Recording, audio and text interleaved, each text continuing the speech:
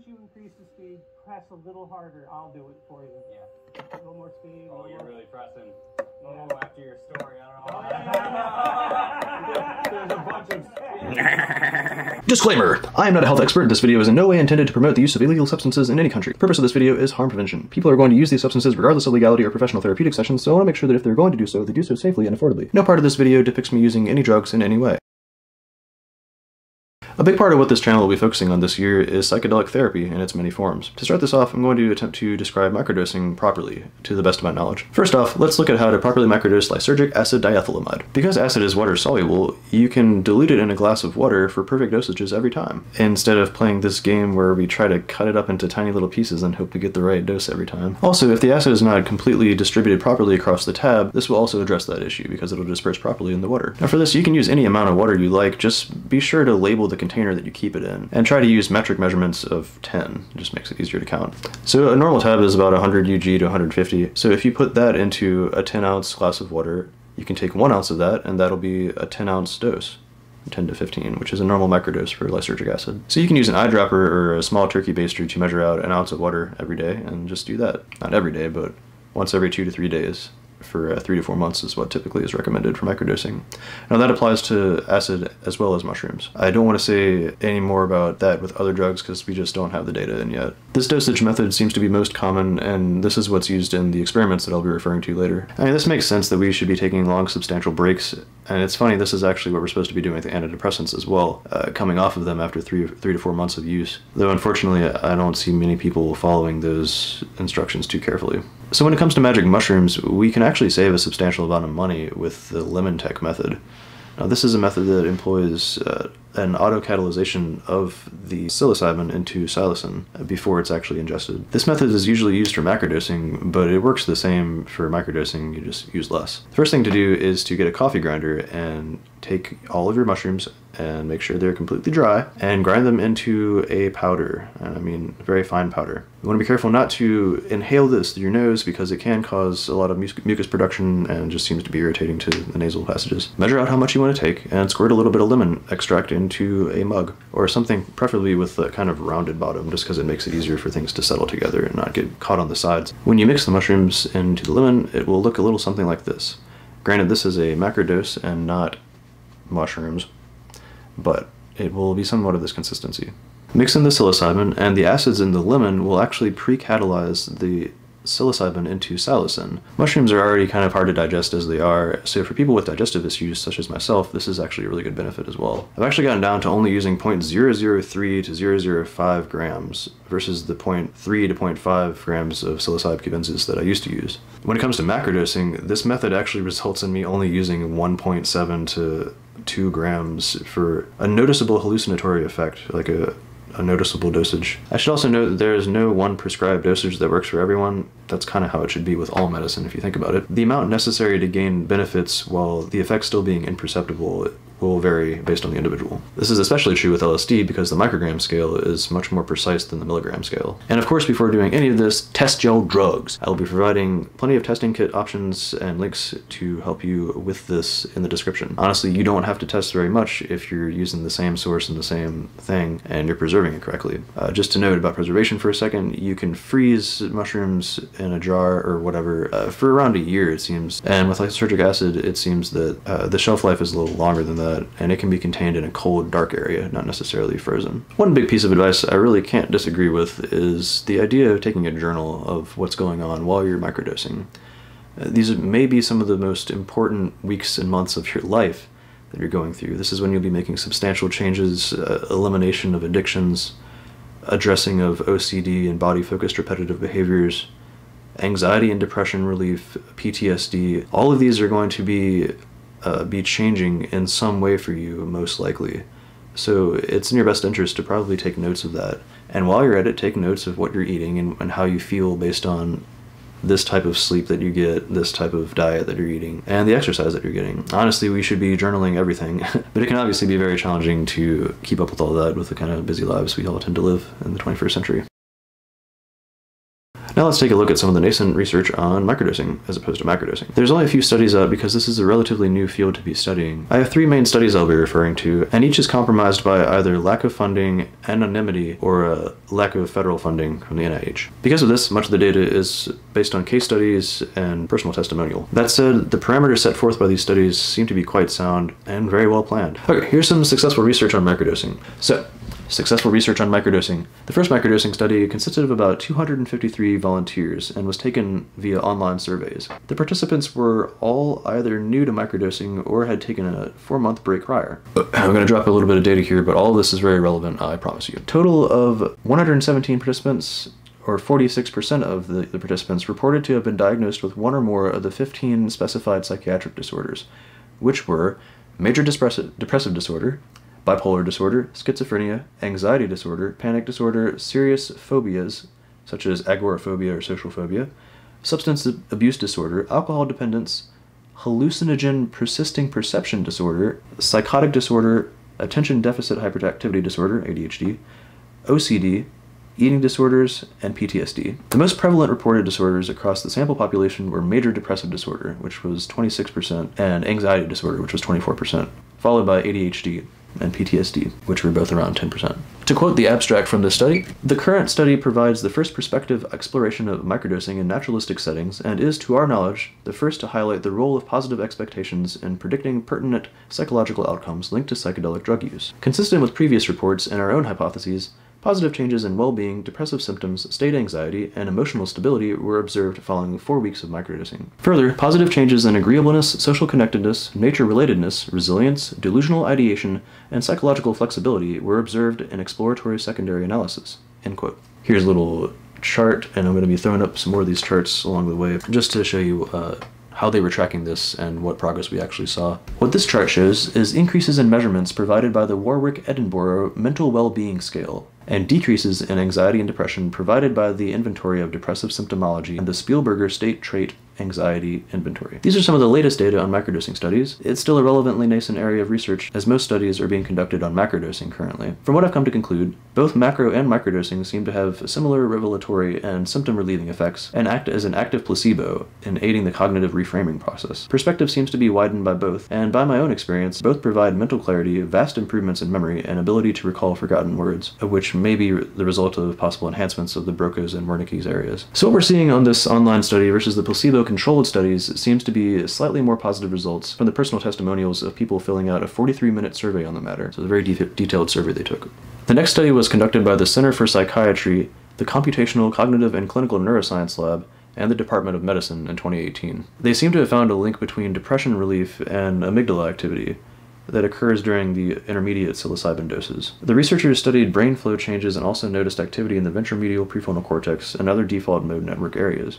This study incorporated different doses of psychedelics and had a lot of similar results between the different doses, so they reported a lot of evidence for positive psychological changes in end of life anxiety and depression, alcohol and tobacco addiction, obsessive compulsive disorder, and most recently, treatment resistant major depression. And the third and final study uh, was done between January 2020 and 2021 with over 191 patients over the period of nine weeks. This has been the biggest microdosing experiment to date. This study examined people with anxiety, depression, PTSD, and other conditions.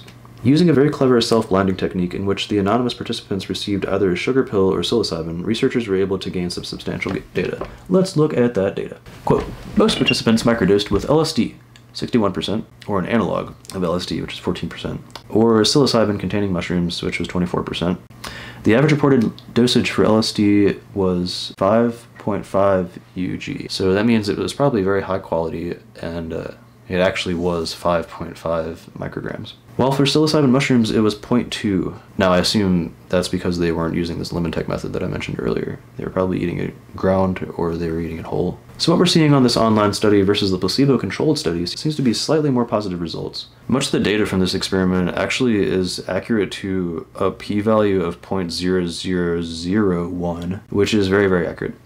Usually, an official scientific press release must meet a minimum p-value of under 0.05 to be published. A, p-value of 0.0001 means that if you ran the experiment a thousand times, you get the same result 999 times, which is very promising. This study used a self-blinding methodology and was very well put together. Quote, we employed a novel self-blinding methodology to investigate the acute, post-acute, and long-term accumulative effects of psychedelic microdosing. To the best of our knowledge, this study is the first one to use a self-blinding methodology, the first placebo-controlled investigation of the accumulative effects of repeated microdosing, and the largest placebo-controlled psychedelic study to date. When looking at changes over time from a baseline to week 5, which are the accumulative outcomes, in the microdose group alone, results confirmed the psychological benefits reported by anecdotes and observational uncontrolled studies. Significant improvements were observed in the domains of well-being, mindfulness, life satisfaction, and paranoia. However, when looking at the between-group comparisons of the same outcomes, no significant differences were found between this, the placebo and microdose groups. On the cognitive tests, which are less subjective than the self-reported psychological outcomes,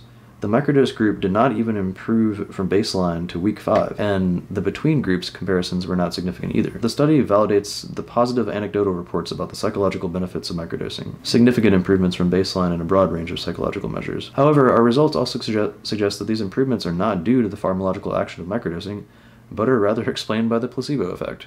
For the within group, or change over time, comparison of baseline versus week 5, all self reported psychological outcomes improve significantly in the microdosing group. I'm going to skip over the percentages and just talk about what increased and decreased.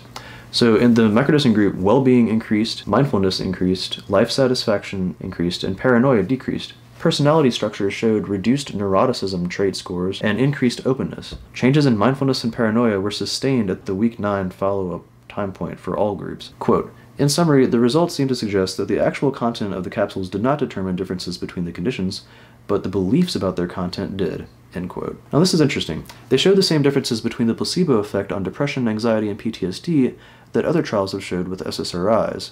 Now this is going off of research that I did about a year ago, but the results are very clear. All of the data that I've seen since then is, is very much in line with this. We've basically seen 50-50 results on improvements and relief of symptoms and anxiety, depression, and PTSD from people using SSRIs, as well as people using placebo effect. So 50 50 results with placebo and 50 50 results with medication, which says a lot about mind over matter. Trials on anxiety medication only studied the relief of symptoms being 50 50 between placebo and the pill, and not a complete reversal of the symptoms which is what we seem to be seeing for microdosing and macrodosing. Or at least that it takes a lot less work, and that is still relatively unexplained. I mean, the downregulation of the default mode network seems to be very much at play, and the relief of addiction tendencies and the desire to give into addiction, that seems to be completely wiped away for long periods, whereas with SSRIs, it's more of just a, a relief of symptoms.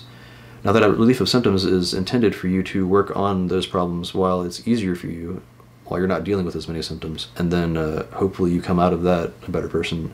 Whereas with psychedelics, it seems to be there's a lot of crazy magic going on with the default mode network where it just resets a lot of the brain and you don't have to put in as much effort. It's almost like cheating. This is why I'm so interested in this because these effects are so profound and so unexpectedly effective. Like very potent effects, very potent beneficial effects, lasting gratitude, lasting humility, feelings of connection with the with the rest of humanity instead of isolation. Quote, the results are still astonishing either way, and the placebo study reveals just another layer of mystery as to the power and potential of the placebo effect. Believing that one can overcome the issue that they're dealing with seems to be absolutely crucial to making lasting change, end quote. What this means is that we, we have to believe that we can overcome, and we have to continuously tell ourselves that. Mantras seem to help, or the recitation of sayings throughout the day seems to reinforce this idea and that is also a message that I don't think is being communicated by psychiatrists that probably should, because that that should probably also apply to the use of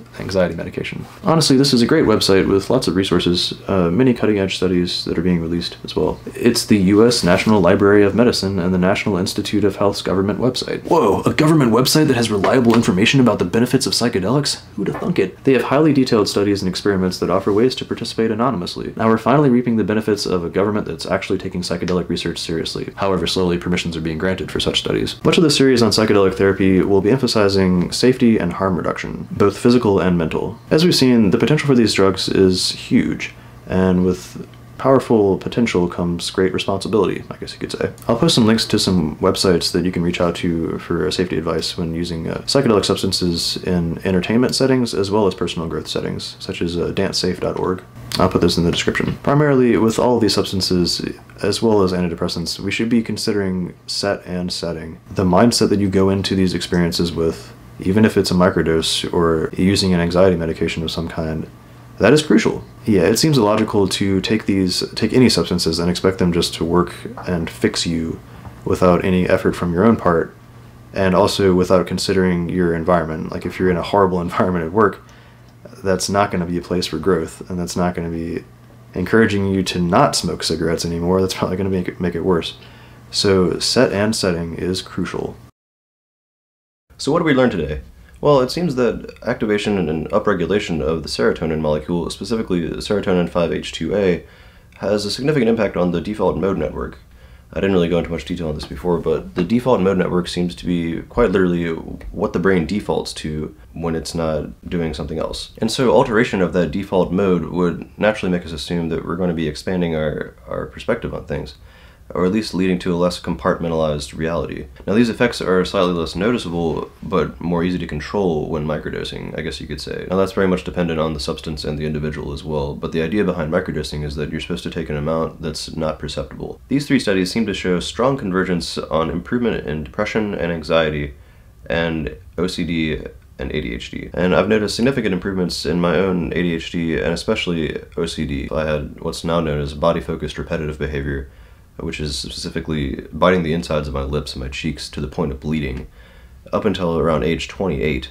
So long past the uh, average of 25, the estimate that we have where the brain starts to decline in its neuroplasticity, which I'm not sure I agree with completely, but the method I used was very similar to what Paul Stamets used, which was just reciting mantras about don't beat your face up or don't beat up your human vessel. It's the only one that you've got. I'll go into more details on that in a future video.